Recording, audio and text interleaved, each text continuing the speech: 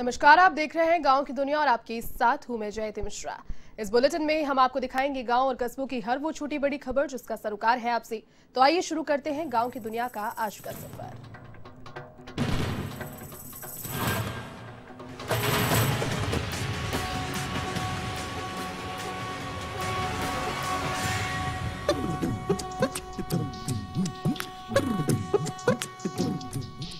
श्रम मंत्री टीकाराम जूली ने अलवर ज़िले में विभिन्न कार्यक्रमों में हिस्सा लिया। इस दौरान उन्होंने अपने कार्यालय पर जनसुनवाई भी की।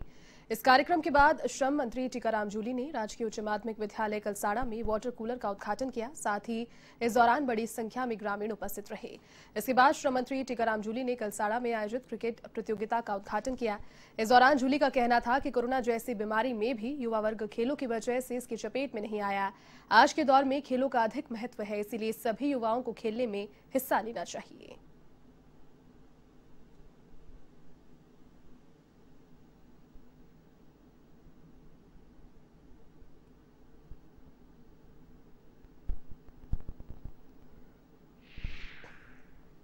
देखिए, मैं युवाओं को पहले तो बधाई और शुभकामनाएँ देता हूँ कि आज का युवा भी लगातार खेलों के अंदर इंटरेस्ट रख रहा है। और जैसे कोरोना की जो महामारी आई इसके अंदर आपने देखा होगा कोई भी खिलाड़ी कोरोना से उसका कोई नुकसान नहीं हुआ। पहली बात तो कोरोना ही नहीं हुआ और कोरोना हो गया तो भी कोई नुकसान नहीं हुआ। तो खेलना कूदना हमारे जीवन का अभिन्न अंग है और हम अगर कसरत कर, करते हैं व्यायाम करते हैं खेलते हैं तो हमारे शरीर के लिए बहुत ज़रूरी है। राज्य मानवाधिकार आयोग के अध्यक्ष गोपाल कृष्ण व्यास जालौर के भीनमाल दौरे पर है जहाँ उन्होंने विकास भवन में अधिकारियों की समीक्षा बैठक ली। बैठक को संबोधित करते हुए गोपाल कृष्ण व्यास ने कहा कि मानव हितों की रक्षा के लिए विश्व भर के मानवाधिकार आयोग का गठन किया गया और सभी विभाग मानवाधिकारों को ध्यान में रखते हुए अपने अपने कार्यों का निर्वहन करेंगे।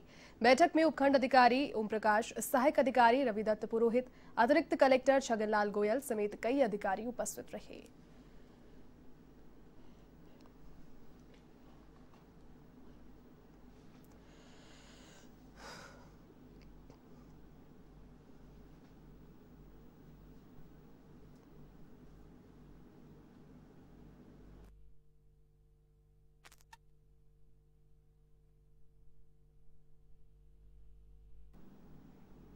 कृषि कानूनों के विरोध में 2 अप्रैल को संयुक्त किसान मोर्चा की ओर से बानसूर में किसान महापंचायत का आयोजन किया जाएगा, जिसकी तैयारियों को लेकर समाजवादी पार्टी प्रदेश अध्यक्ष मुकेश यादव सहित कार्यकर्ताओं ने सभा स्थल का जायजा लिया।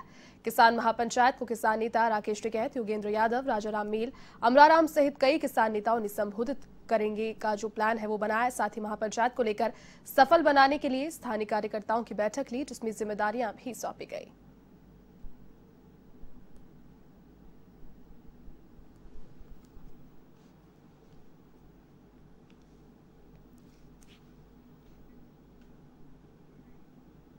राजधानी के चाकसू में शीतला माता का प्रतिवर्ष आयोजित होने वाला लखी मेला इस साल नहीं होगा। उप जिला मजिस्ट्रेट और एसटीएफ राजेश मीणा ने एक आदेश जारी कर मेला स्थगित करने की सूचना दी है। थानाधिकारी बलवीर सिंह कस्बा ने बताया कि मेले में किसी भी प्रकार की व्यवसायिक और सामाजिक गतिविधियाँ, जैसे दुकानें, झूला सर्कस धर्मशालाओं में सामाजिक बैठने के लिए सभी कार्यक्रमों पर रोक रहेगी। साथ ही इसके अलावा प्रशासन और मंदिर समिति ने भी श्रद्धालुओं से अपील की है कि कोरोना को देखते हुए घर पर ही रहकर मेला उत्सव मनाएँ। आपको बता दें कि माँ शीतला का 500 साल पुराना प्राचीन मंदिर भव्य और श्रद्धालुओं की अटूट आस्था का केंद्र है। ये हर साल लाखों लोगों की तादाद में श्रद्धालु दर्शन करने पहुँचते हैं, ऐसा धार्मिक स्थल है।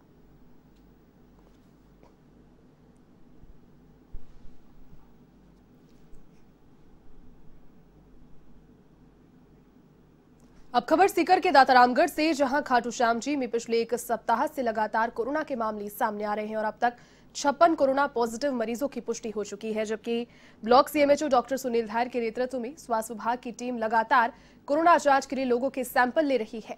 इसी क्रम में block CMHO doctor Sunil Dhayal ने इवन टीवी के माध्यम से आम जनता से अपील की कि सरकार की गाइडलाइन का पालन करते हुए अपने घर से बाहर निकलते समय मास्क पहनकर ही निकले और भीड़भाड़ वाले क्षेत्र में जाने से बचे। इसी के साथ सोशल डिस्टेंसिंग की पूर्णतया पालना करें।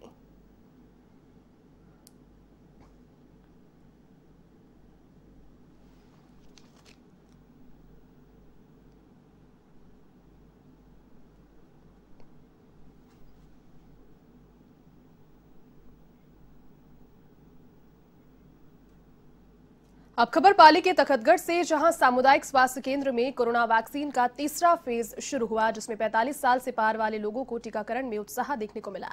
चिकित्सा प्रभारी डॉक्टर अमित कुमार ने बताया कि सामुदायिक स्वास्थ्य केंद्र में कोरोना वैक्सीन का तीसरा चरण शुरू हुआ है, जिसमें 20 लोगों को कोरोना वैक्सीन के टीके लगाए गए।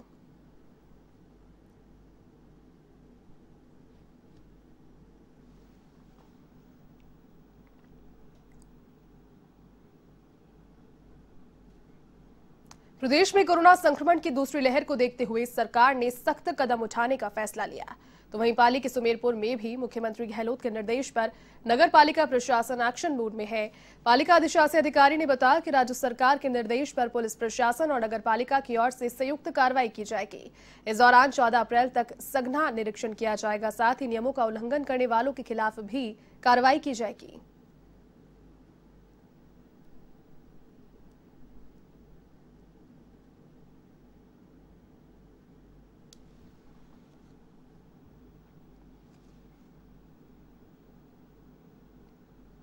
भीलवाड़ा ज़िले के आसिंद थाना क्षेत्र में ढाई साल पूर्व किशोरी से दुष्कर्म कर हत्या करने के मामले में पॉक्सो कोर्ट संख्या दो ने आरोपी को आजीवन कारावास की सजा सुनाई। इसी के साथ कोर्ट ने आरोपी पर पचास हज़ार रुपये का जुर्माना भी लगाया। विशिष्ट लोक अभियोजक श्रुति शर्मा ने कहा कि आरोपी ने दुष्कर्म करने के बाद किशोरी का गला घोटकर हत्या की, जिस पर पुलिस ने आरोपी नारायण उर्फ़ रामनारायण गुर्जर को गिरफ़्तार किया। इसके बाद कोर्ट ने आरोपी को दोषी मानते हुए आजीवन कारावास की सजा सुनाई है। साथ ही कोर्ट ने दोषी पर पचास हज़ार रुपए का जुर्माना भी लगाया।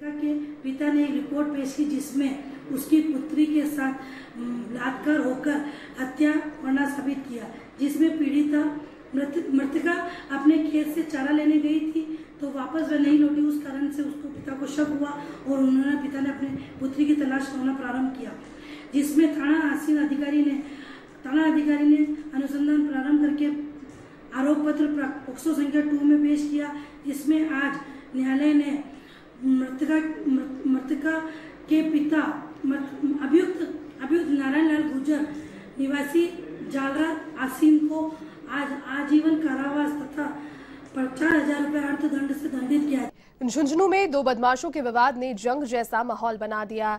घटाना कला निवासी शराब ठेकेदार जयवीर और राजपुरा गाँव के रहने वाले लाकेश उर्फ़ हनी के बीच ये विवाद हुआ। दरअसल, शराब ठेकेदार जयवीर ने दोस्त के जन्मदिन पर राकेश को शराब देने से इनकार कर दिया। इस पर वो ज़बरदस्ती शराब ले गया जब इस बात को लेकर जयवीर ने राकेश के पिता को शिकायत की तो उन्होंने भी ठीक से जवाब नहीं दिया, जिसके बाद जयवीर के लोगों ने राकेश के पिता की गाड़ी में तोड़फोड़ कर दी। मामला थाने तक तो पहुँचा, लेकिन फिर आपसी समझाइश से रफा दफ़ा हो गया।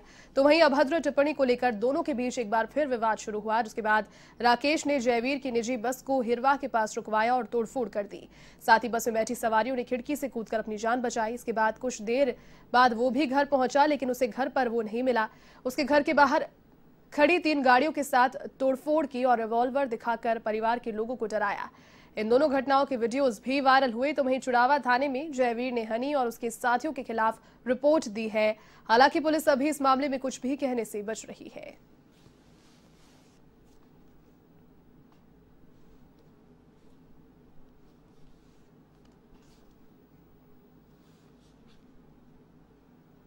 धौलपुर ज़िले में बजरी माफियाओं का खौफ थमने का नाम नहीं ले रहा। बजरी माफियाओं की दादागिरी के सामने ज़िले की पुलिस भी मौनी साबित हो रही है।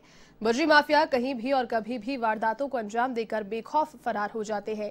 आमजन में विश्वास और अपराधियों में भय पैदा करने वाला पुलिस महकमा बजरी माफिया के सामने नाकाम साबित हो रहा है। गुरुवार कल सुबह चार बजे बजरी माफियाओं ने ट्रैक्टर ट्रॉली एनएस एक पर कैथरी आर चेक पोस्ट के सामने होकर निकाल रहे थे।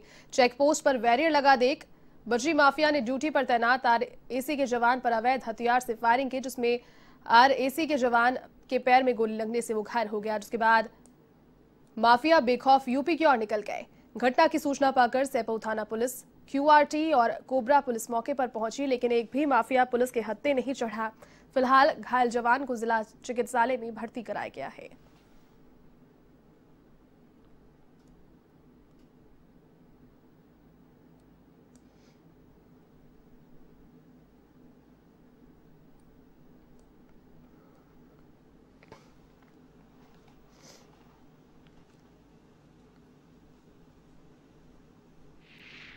राजस्थान और उत्तर प्रदेश की सीमा पर एक आरएसी की चेक पोस्ट है। अपराध नियंत्रण के लिए कई दिनों से स्थापित की हुई है। आज सुबह कुछ ट्रैक्टर, ट्रॉली वहाँ से गुजर रहे थे और जिनमें से एक ट्रैक्टर वाले ने पुलिस वहाँ का जो आरएसी की बल था उसको फायर कर दिया, जिससे एक जवान इंजर्ड हुआ है। अभी उसको हॉस्पिटलाइज किया हुआ है। उपचाराधीन है और खतरे से बाहर है। अब खबर अलवर के बानसूर से है, जहाँ नारायणपुर रोड पर मोतीवाली प्याऊ के पास दर्दनाक सड़क हादसा हुआ, जिसमें टैंकर और बाइक की भिड़ंत में बाइक सवार एक युवक की मौके पर ही मौत हो गई और दूसरा गंभीर रूप से घायल हो गया। सूचना पर पुलिस मौके पर पहुँची और शव का पोस्टमार्टम करा, परिजनों को सौंप दिया। साथ ही मामले की जाँच में जुट गई है।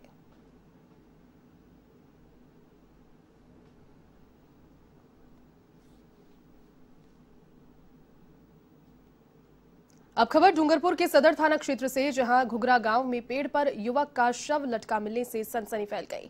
पुलिस के अनुसार घुघरा गाँव निवासी दीपक डोडिया रात को खाना खाकर सोया था। तो वहीं सुबह जब परिजन उठे तो देखा कि घर के बाहर दीपक का शव पेड़ से लटका हुआ था। इधर घटना की सूचना पाकर पुलिस ने पोस्टमार्टम के बाद शव परिजनों को सौंप दिया। फ़िलहाल पुलिस आत्महत्या की वजह का पता लगाने में जुटी है।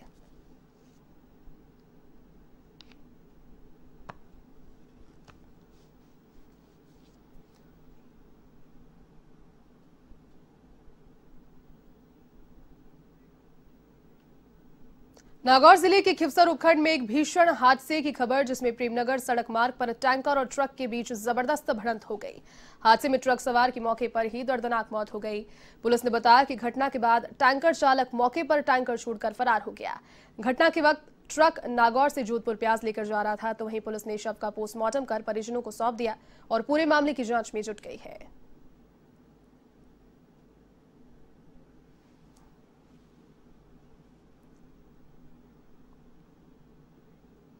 अब खबर बूंदी के कापरेन से है, जहाँ बालापुरा गाँव के पास गाय की टक्कर के बाद एक बाइक सवार की मौत हो गई। कापरेन थानाधिकारी हरलाल मीणा के अनुसार कोडकिया निवासी धनराज मीणा बाइक से अपने घर जा रहा था। तभी अचानक गाय के सामने आने से बाइक टकरा गई, जिसमें धनराज गंभीर रूप से घायल हो गया। हादसे के बाद घायल को अस्पताल पहुँचाया गया, जहाँ डॉक्टर्स ने उसे मृत घोषित कर दिया।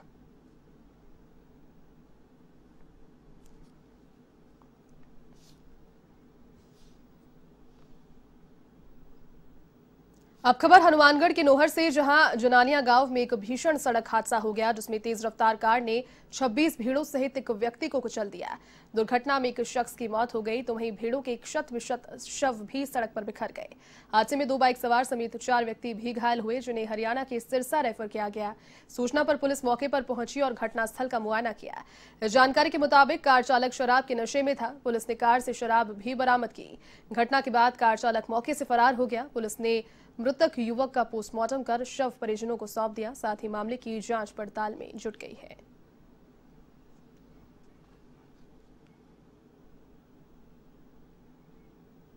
डूंगरपुर ज़िले के रामसागड़ा थाना क्षेत्र के धमलात वाला गाँव में थ्रेसर में सिर फंसने से एक युवक की दर्दनाक मौत हो गई।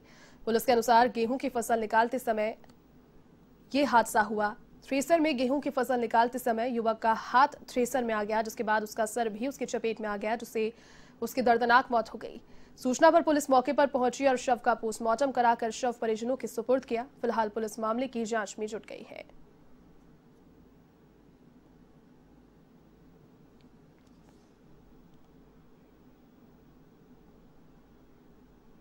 डूंगरपुर में पुलिस की स्पेशल टीम ने शराब तस्करों के खिलाफ अभियान चलाया है।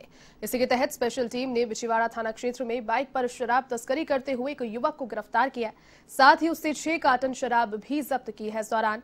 पुलिस ने आबकारी अधिनियम के तहत मामला दर्ज कर आरोपी से पूछताछ प्रारंभ कर दी।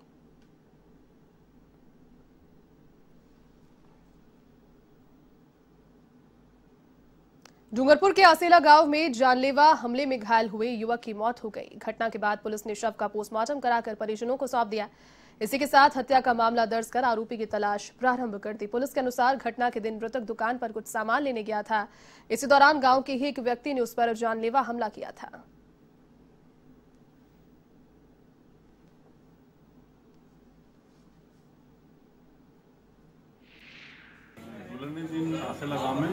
कोई कागवा भाइयों ने लट मार के घायल कर दिया था जिसमें परिवार की मृत्यु हो गई है। और इस पर मर्डर का मुकदमा दर्ज कर लिया जाए और इसमें गठित कर मुलजिम में इतला जारी है। जल्दी मामला खुलासा कर दिया जाएगा कितने अभी पसंदिया से एक मुलजिम है। और उसकी इतला जारी है। टीम में दलित दे दी किसी को गिरफ़्तार करके चाल करके अब खबर अजमेर के सावर थाना से जहाँ पर मालियों के नए गाँव में हुई महिला की हत्या के मामले में पुलिस ने बड़ी कार्रवाई की है। पुलिस ने मामले का खुलासा करते हुए मृतका के प्रेमी को गिरफ़्तार किया। आरोपी ने अवैध संबंधों के चलते जहरीला पदार्थ खिलाने के बाद गला दबाकर महिला की हत्या की। फ़िलहाल पुलिस आरोपी से पूछताछ में जुटी है।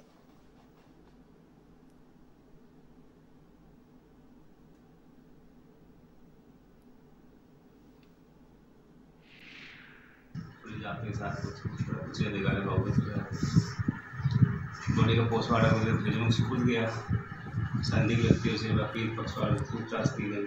तथा सीडीआर वगैरह एनालाइज किया गया। जिस पर भीलवाड़ा का लक्ष्मण सिंह नाम का व्यक्ति आया जिसको की पूछताछ में उसने। अपने जुर्म को राजधानी के हरमाणा के राजावास कस्बे में विद्युत विभाग की लापरवाही सामने आई, जिसमें एक निजी स्कूल के बाहर लगे ट्रांसफार्मर में अचानक आग लगने से हड़कंप मच गया। घटना की सूचना स्थानीय लोगों ने विद्युत विभाग को दी, जिसके बाद विभाग ने बिजली सप्लाई तो बंद कर दी, लेकिन कोई भी अधिकारी, कर्मचारी मौके पर नहीं पहुँचा, जबकि इसी रास्ते से होकर कई लोगों का आवागमन जारी था, जिससे स्थानीय लोगों में आक्रोश व्याप्त है।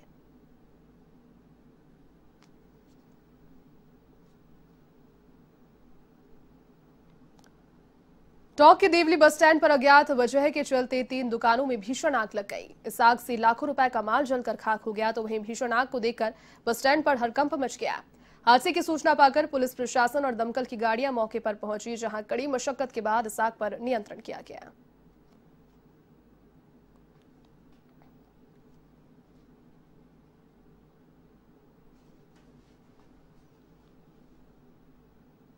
भारत पेट्रोलियम की ओर से कोटा से जोबनेर तक पाइपलाइन बिछाई गई है। इस पाइपलाइन पर आपदाकालीन आपदा प्रबंधन के अभ्यास के लिए गेंडोली खुर्द गाँव में मॉकड्रिल की गई। इस दौरान प्रशासन की ओर से बीपीसीएल की ओर से तेल के रिसाव को रोकने घायल कर्मियों को बचाने और आग पर नियंत्रण पाने का अभ्यास किया गया भारत पेट्रोलियम के क्षेत्रीय प्रबंधक श्री कृष्ण कुमार ने बताया कि इस मॉकड्रिल का उद्देश्य ग्रामीणों को आपातकालीन प्रतिक्रिया और आपदा प्रबंधन के इंतजामों से अवगत करवाना है।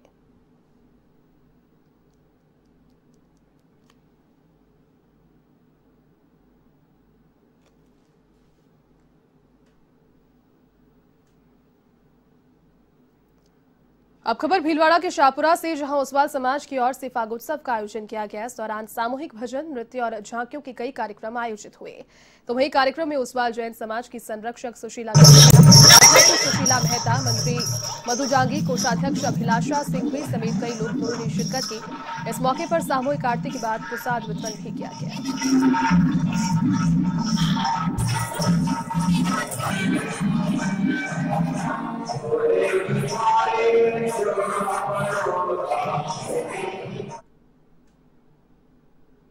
चलिए गाँव की दुनिया के आज के सफ़र में फ़िलहाल के लिए बस इतना ही। देश और दुनिया की तमाम बड़ी खबरों को देखने के लिए आप देखते रहिए वन टीवी नमस्कार।